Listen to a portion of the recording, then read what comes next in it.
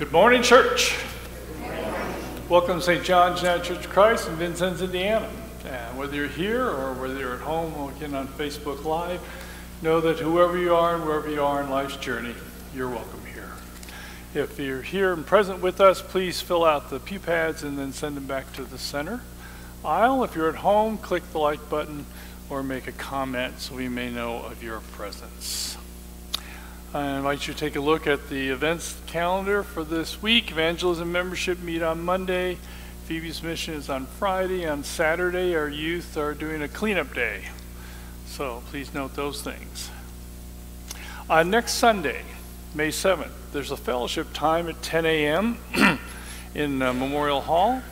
Uh, after more than two years of COVID restrictions, it's good that we can get together in fellowship.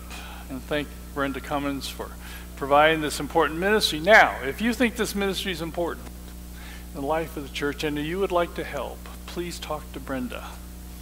Okay?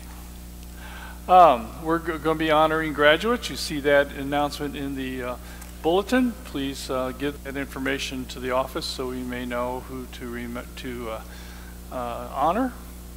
Uh, we've also left the announcement in about uh, helping Sullivan County, and we're going to try to get some more information this week about what their present needs are.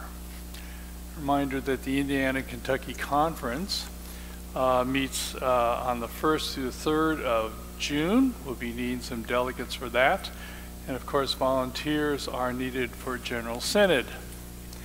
Oh, yes, congratulations to Mark Lang, who is the 2023 James McCormick Community Leader.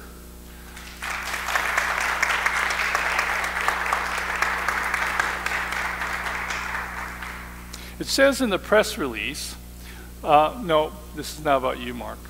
Uh, not yet.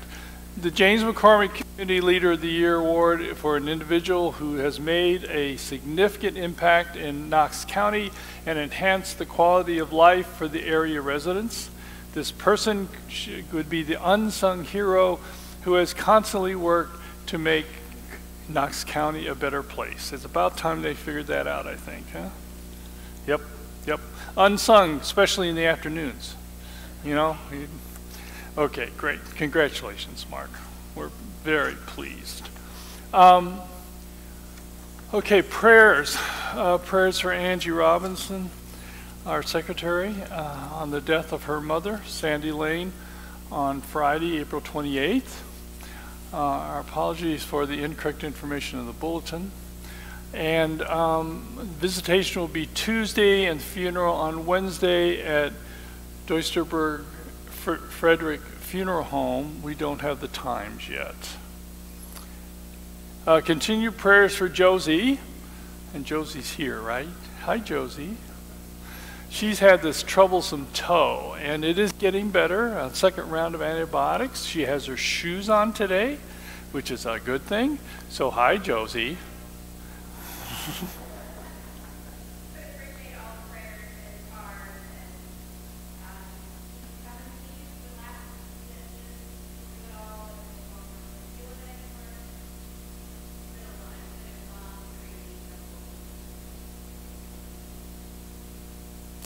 Prayers extended to Gabriel Gabby Miller Gott, who is in Deaconess Neurology, getting further tests related to her accident falling down her basement stairs. Uh, Gabriel's mother is Donna Gerhardt. Please continue to pray for those who are, of course, on our prayer list, those who are living in uh, at home, uh, homebound, those who are in the midst of, uh, of living in healthcare facilities and assisted living. Are there other announcements or concerns that we need to know about? Okay, if not, I invite all who are able, please rise and greet each other in the name of the Lord.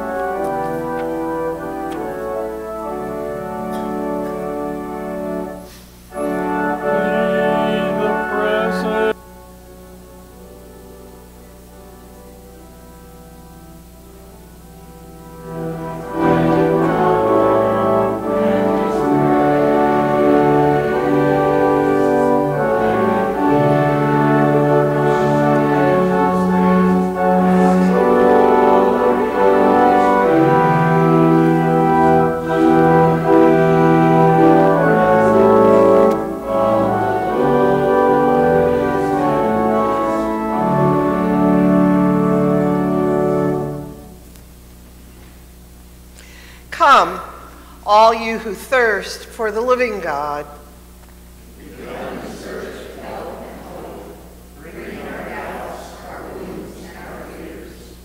Come, you who are in need of good news. Come and find refuge in the eternal God who is love.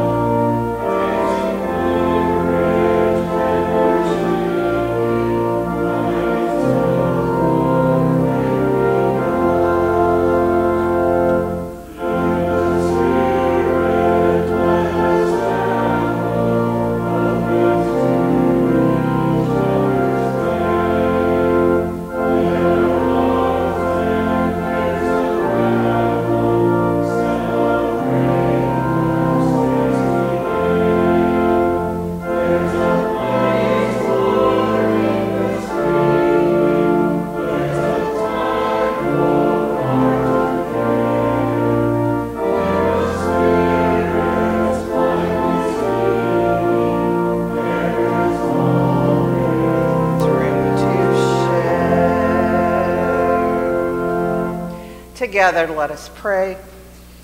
O God, distant yet near, we gather as witnesses to your promise that if we seek you with all our hearts, we will find you.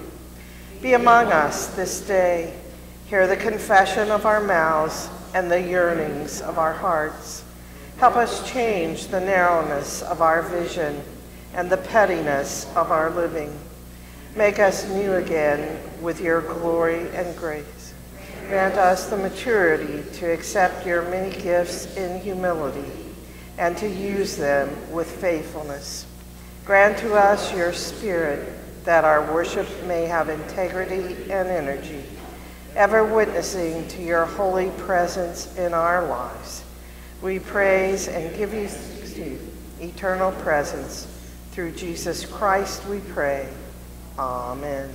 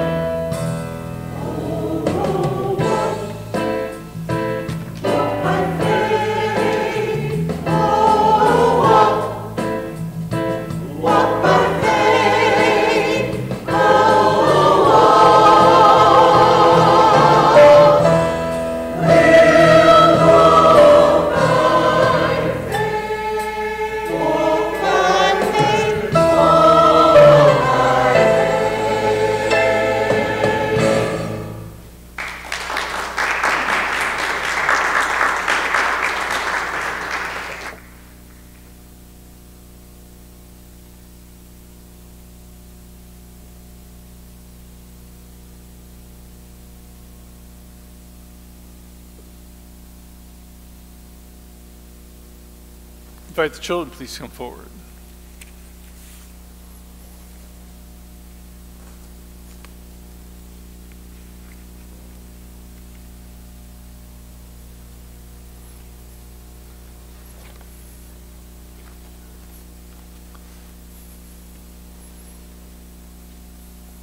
Well, good morning. How are you all? Good. Good. Yeah, I know you're good. We had a little conversation earlier. I'm glad you're here this morning. All right. Now, do you know the story of Three Little Pigs? Yeah? Yeah? Okay, so does it go like this? Let's see. Three little pigs are three little pigs, and they they were going off into the world, uh, and and so the three little pigs each built a house, right? The first pig built their house out of what? Straw. This, right. The second pig built his house out of sticks. That's right. And the third pig, bricks. That's right. Okay, I think you know the story. So, so they're out living in their house, right? And who shows up? That's right, the big bad wolf. And the big bad wolf bangs on the door of the pig, first piggy's house and says, Let me come in. And the little piggy says, What? Not by the hair of my chinny chin chin. And the wolf says, Well, I'll huff and I'll puff and I'll blow your house down. And that's exactly what he did, didn't he? Because the straw wasn't very strong, so he blew the house down. Wolf goes to the second piggy's house, house of sticks. And he says, he says to the second pig, bangs on his door and says, Let me come in. And what does the little piggy say? Not by the hair on my chinny chin chin. And so the wolf says, I'll huff and I'll puff and I'll blow your house down. And he blew the stick house down. Well, then he went to the third piggy's house. And that was made out of brick. And so he again knocked on the door and says, Let me in. And the, and the, uh, the piggy said to him, Not by the hair of my hinny chinny. Ah, you did better than I did that time.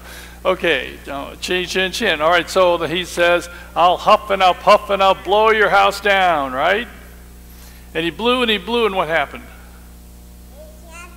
He can't do it, can he? That's right. It, he can't. He can't blow it down. So they and all the three piggies got together and says, "Who's afraid of the big bad wolf? Big bad wolf, big bad wolf. Who's afraid of the big bad wolf? Not us, right?" Okay. Well, there are other stories about big bad wolves. Uh, can you think of any? Little Red Riding Hood, that's right. And uh, can you think of any others? How about Peter and the Wolf? You know that story? Okay. Or the boy who cried wolf. Yeah, that's right. That's right. And so, the, and and so, um, big. You know, that last story helps us understand that we need to tell the truth, right? We need not to raise false alarms. Now, did you know that Jesus told a wolf story? No. Okay. Well, something like this. See, Jesus talked about uh, the job of the shepherd. And there was this a sheep's fold, which was like a corral or a shelter, where the sheep would stay at night to be protected from predators. And so Jesus would say, you know, well, the hired hand would run away when the big bad wolf would come because they weren't his sheep. But the shepherd, the shepherd remains to protect the sheep from the big bad wolf. And in this story, the wolf, bad, big bad wolf, are enemies and, and people and things that want to hurt us, that want that want to to uh, um, bring us harm, and then bring Jesus harm. And so he says that you know, I am the good shepherd, and I know my sheep, and my sheep know me. And I know the Father, or God, and God knows me, and God knows you. and I will lay down my life for my sheep. So Jesus is the good shepherd, and we are Jesus' sheep. And Jesus will protect us all the time and promises to us a life that is eternal in God's kingdom. For the shepherd is the one who cares for the sheep and protects them from the big bad wolf. Will you pray with me, please? Dear God, we thank you for your Son who protects us and watches over us, and we thank you for the opportunities that you give to us to serve him and to serve you. We know, God, that uh, you are a God of love and grace. And we thank you, O oh God, for the blessings that you shower upon us, especially upon these children who are here and all the children of the world. Watch over them and protect them, guide them, and love them. We pray in the name of your Son, Jesus Christ. Amen. You return to your seats or go to Children's Church.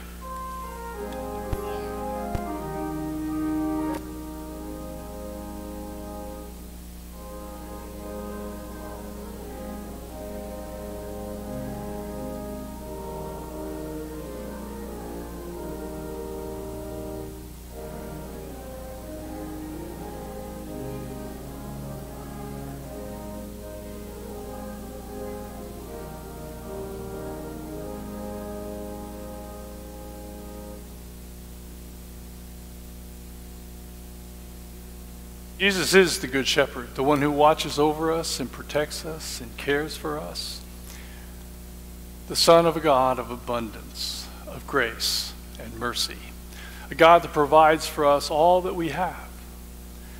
Gives us the opportunities that are given to us, but that we have time and talent, and also our treasures.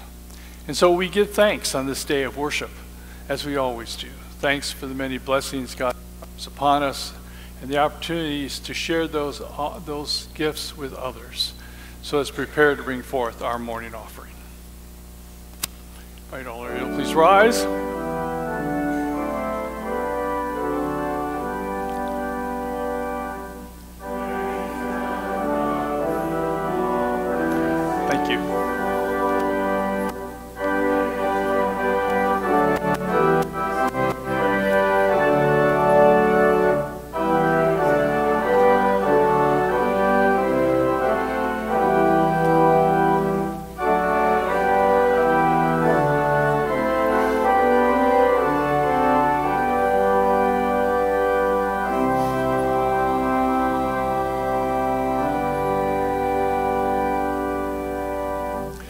Together, let us pray. God, we present these offerings that they may be used to extend your liberating reign. With them, we offer our varied ministries in the days ahead, that each of us may be part of your answer to the cries of the world. Amen. You may be seated.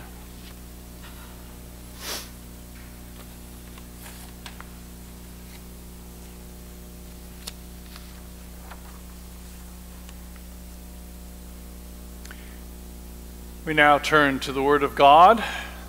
Hear first from the Psalms, a familiar one, the 23rd. The Lord is my shepherd, I shall not want. He makes me to lie down in green pastures, He leads me beside still waters. He restores my soul. He leads me in the right paths for His name's sake. And even though I walk through the darkest valley, I fear no evil for you are with me, your rod and your staff, they comfort me. You prepare a table before me in the presence of my enemies. You anoint my head with oil. My cup overflows. Surely goodness and mercy shall follow me all the days of my life, and I shall dwell in the house of the Lord my whole life long. And these words from the book of Acts, second chapter. They devoted themselves to the apostles' teaching and fellowship, to the breaking of bread and the prayers. Awe came upon everyone because many wonders and signs were being done by the apostles. All who believed were together and had all things in common. They would sell their possessions and goods and distribute the proceeds to all as any had need. Day by day, as they spent much time together in the temple, they broke bread at home and ate their food with glad and generous hearts, praising God and having the goodwill of all the people. And day by day, the Lord added to their number those who were being saved. And from the Gospel of John, the 10th chapter. Very truly I tell you, anyone who does not enter the sheepfold by the gate, but climbs in by another way, is a thief and a bandit. The one who enters by the gate is the shepherd of the sheep. The gatekeeper opens the gate for him, and the sheep hear his voice. He calls his own sheep by name and leads them out. And when he has brought out all his own, he goes ahead of them. The sheep follow him because they know his voice. They will not follow a stranger, but they will run from him because they do not know the voice of strangers. Jesus used this figure of speech with them, but they did not understand what he was saying to them. So again, Jesus said to them, Very truly I tell you, I am the gate for the sheep. All who came before me are thieves and bandits, but the sheep did not listen to them. I am the gate. Whoever enters by me will be saved and will come, come in and go out and find pasture. The thief comes only to steal and kill and destroy. I came that they may have life and have it abundantly. This is the word of God. Be blessed by the reading, the living, and the hearing of it. Amen.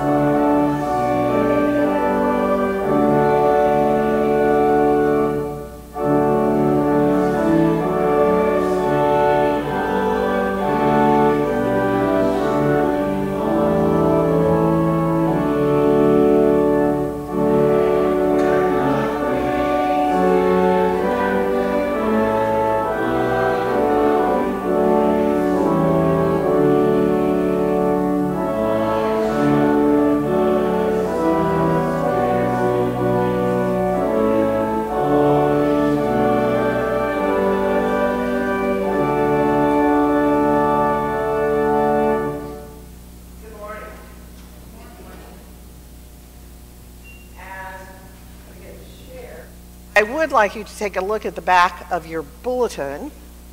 I think there's some very helpful information on there for personal use today. It follows along with the 23rd Psalm and kind of offers you a prayer meditation on that psalm that you can use during the week or any time you want to. But um, to deliberately use the 23rd Psalm in your prayers. And now let us pray.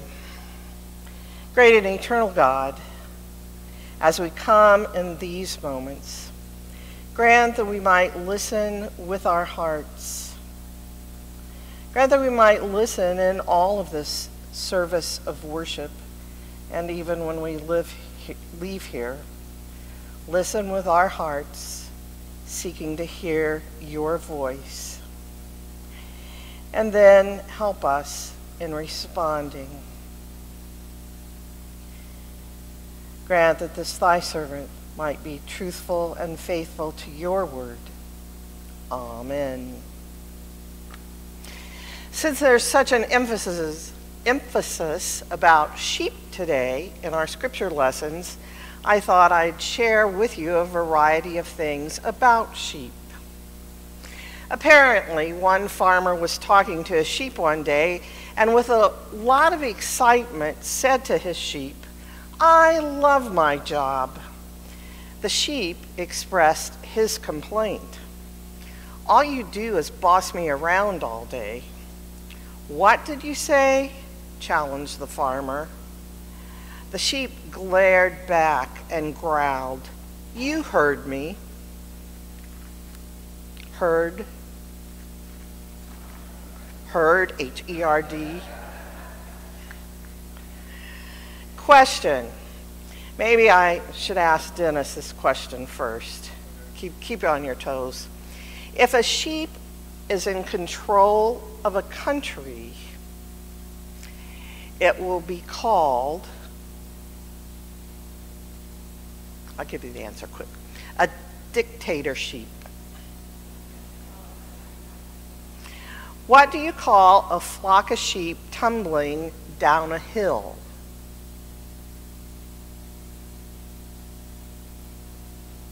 A landslide. And finally, a conversation between a shepherd and his sheepdog. It's near the end of the day, and the sheep need to be brought in to the pen.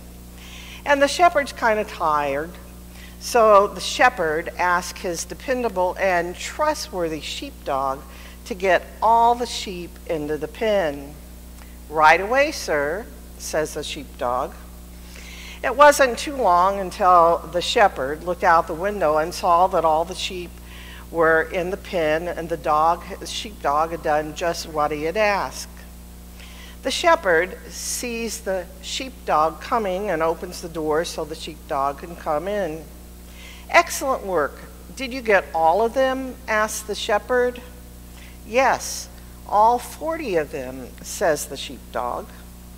The shepherd stares confusedly at the sheepdog. Hang on, I thought I only had 37 sheep. The sheepdog replies, Yes, well, I rounded them up.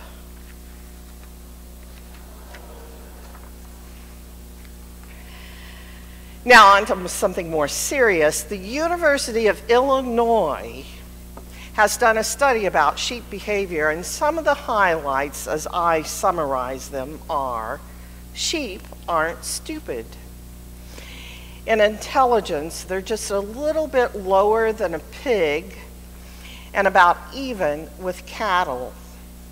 They have instinctive behavior. They will run from what frightens them. They are grazers. Before they were domesticated, says the study, they got all of their food supply from grazing grass. So that meant that for them to survive, they would run from danger and also band together in large numbers for protection while they were grazing. They're also gregarious and social, staying together, again, partially for protection. They will follow each other and will move forward, will, mo- will move away. Excuse me. They will follow each other and will move toward another sheep or someone else they sense is a friend. However, if they sense danger, they will run away. So there are legitimate comparisons between sheep and between humans. After reading that, I think some of us humans might learn something from sheep. In today's lesson from John, we have several images relating to shepherding. There's the sheepfold or the sheep pen, the gate, a thief, and a bandit. There's the shepherd, the gatekeeper, a stranger. There are voices. There is pasture. And there's the lure of abundant life.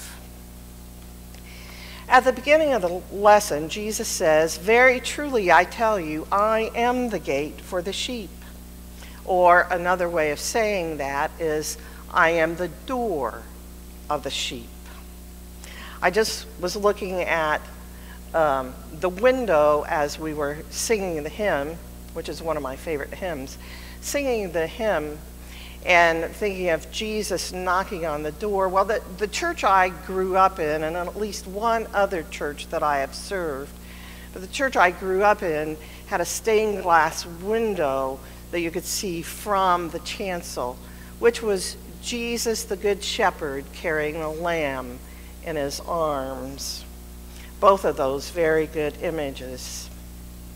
The Gospel of John is not only known for the signs sayings. Remember a while back we talked about the signs in the Gospel of John, the seven signs that people shared so others might come to believe that Jesus is the Christ, the Son of God. But the gospel is also known for the seven I am sayings, sayings that Jesus makes about himself.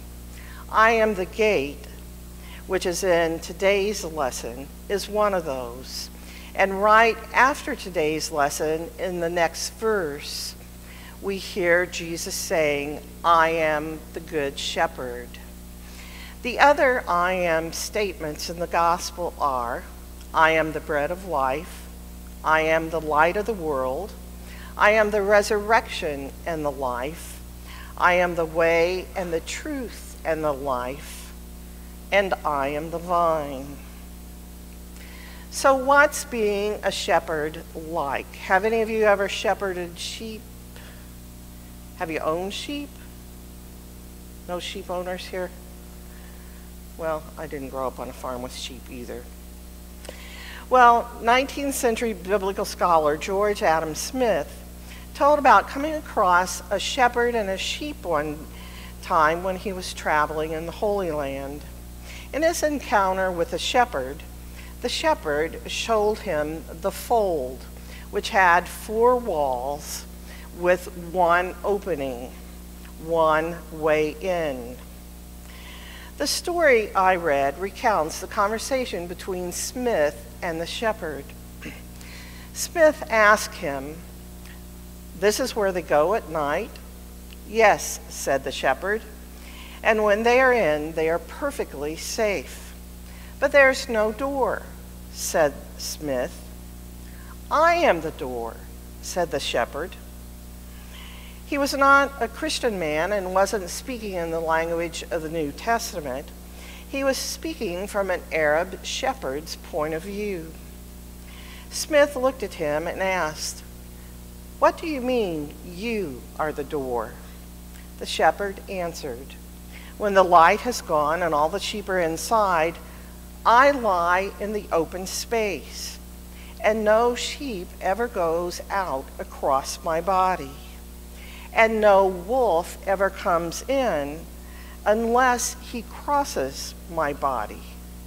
I am the door. There is a relationship of trust between the shepherd and the sheep. When the shepherd is near, the sheep don't sense danger because they know the shepherd will be the one who guards them, who keeps them safe, who protects them from danger. The shepherd will not abandon them. Remember the, the parable of the lost sheep? One sheep out of, out of a hundred was gone, and the shepherd would not abandon that sheep. The shepherd went out and searched and searched until finding the sheep. The shepherd calls the sheep by name. We had a reference in the opening hymn to God calling us by name. The shepherd calls the sheep by name. One commentary about the relation between shepherd and sheep in Jesus' day says, in that culture, people considered a person's name to be more than a simple label to identify that person. They believed something of the person's identity was tied up in the name. The, that the name expressed something of the person's essential character. The point of this verse is that the good, is that the good shepherd knows the sheep with the same kind of intimacy that we have with friends and neighbors. The voice of the shepherd is important, calling the sheep by name or calling the sheep to come in. The sheep know the shepherd's voice, but they don't know the voice of strangers. So the sheep are smart enough not to listen when a stranger speaks. Maybe we could learn something from them in a day and age when there are so many voices seeking our attention, calling for our allegiance, and so many who are saying things that aren't true just to get people to follow them, just to be divisive just to make money or just to get a crowd. In his introduction, Listening Hearts, in the introduction, Listening Hearts, the authors ask an important question. How can we distinguish God's voice from all the other voices that clamor at us?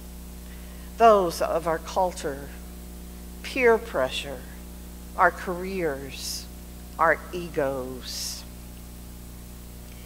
How might we better make discernment about the voices that we're listening to?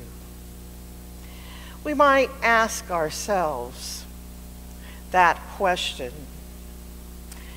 Like the sheep, we might trust our instincts while being aware of our own biases. Doing our research is also important. If we hear something, if we hear someone telling us something, do we check it out? Do we seek out actual facts about what we're hearing or what someone has shared? Do we seek to find out if the voice is actually trustworthy. I'm sure, like many of you, or I'm sure many of you, like I have, gotten many things on Facebook or on some other form of social media. And I've tried to make it a habit. I, I usually end up just not passing things along, but I've tried to make it a habit to check out things and make sure they're factual before just sending them along. Because you send it along and then it goes to a million people and then a million people hear it or read it or see it. And if it's not true, then we have all of that out there that simply isn't factual. So sometimes people relatives and other people send things to me, and I, I, I look at it. If I don't have time to fact check it, I just don't send it along. There is so much on social media that's good, that's inspiring, that is factual, but checking it out is important. Do we see if the voices we are hearing are consistent, and do we ask if they're consistent with a message of Christ?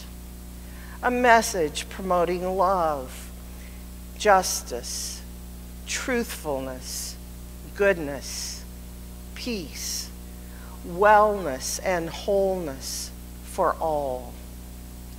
Do we seek out others who we know have been trustworthy with us in the past and talk to them about something that maybe we heard and what do they think about it and is it true if we're not able to find that fact somewhere else. In the lesson from today, the shepherd is the one who leads the sheep out into open, green, good, life giving pastures. At the end of the story, Jesus told his hearers, I came that they may have life and have it abundantly. We yearn for abundant life.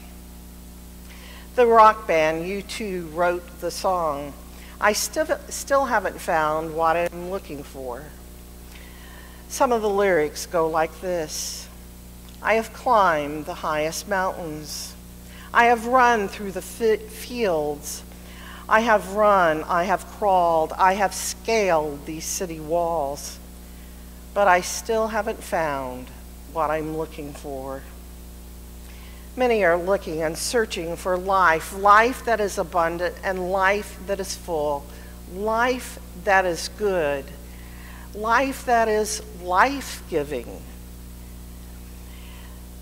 And the gospel and the church, this church, other communities of faith, have the message about life that is good, life that is full, life that is abundant.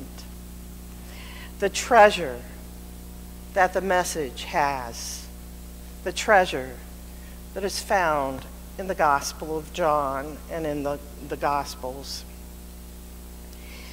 In his commentary on John, Barnabas Lindars says that when the lesson uses the word abundantly, it is perhaps an allusion to the plentiful pasture described in Ezekiel, or alternatively, a reminiscence of the saying of Jesus in Matthew to him who has, more will be given, and he will have abundance.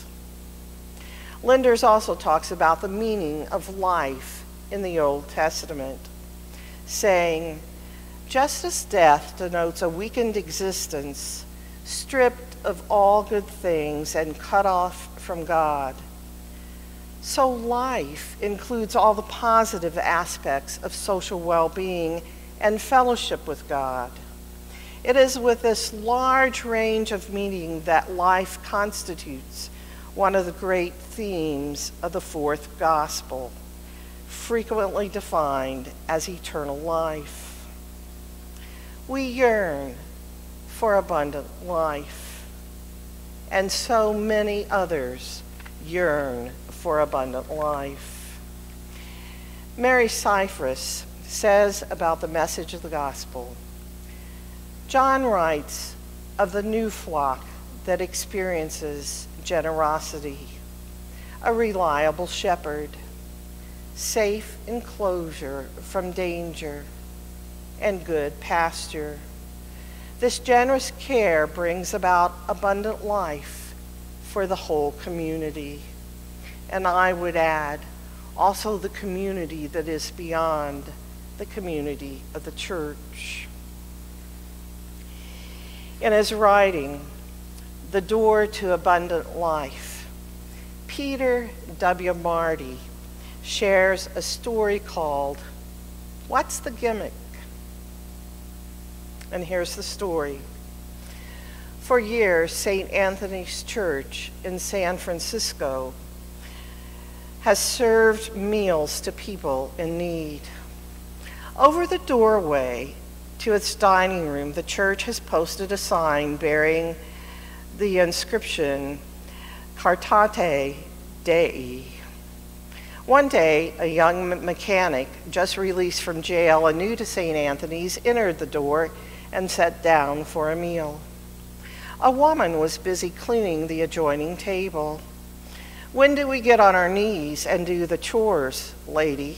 he asked. You don't, she replied. Then when's the sermon coming? He asked. Aren't any, she said. How about the lecture on life, huh? Not here, she said. The man was suspicious. Then what's the gimmick? The woman pointed to the sign over the door.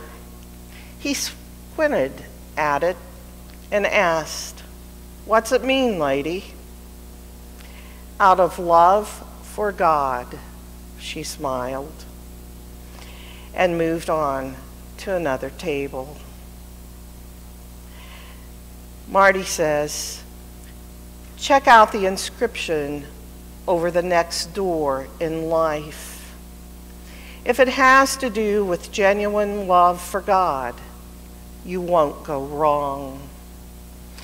Hopefully, as people come to the doors of this church, needing help, needing service, or entering looking for peace, as we come here to worship, we can see over the doors for the love of God. And that people can see in the doors of our lives the inscription for the love of God. Amen.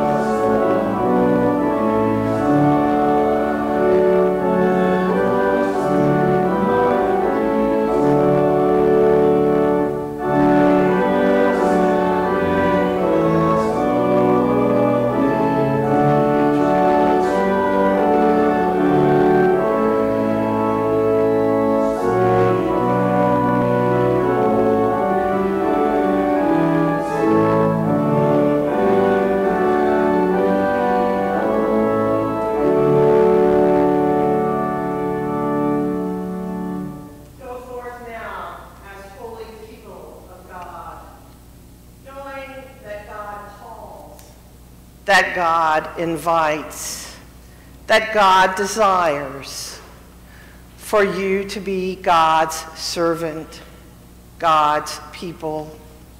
Go forth and answer that call. Here I am, send me.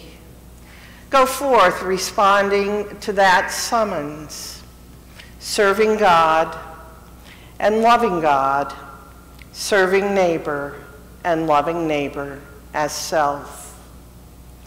And may the blessings of Almighty God, Creator, Redeemer, and Christ be with you this day and forever. Amen.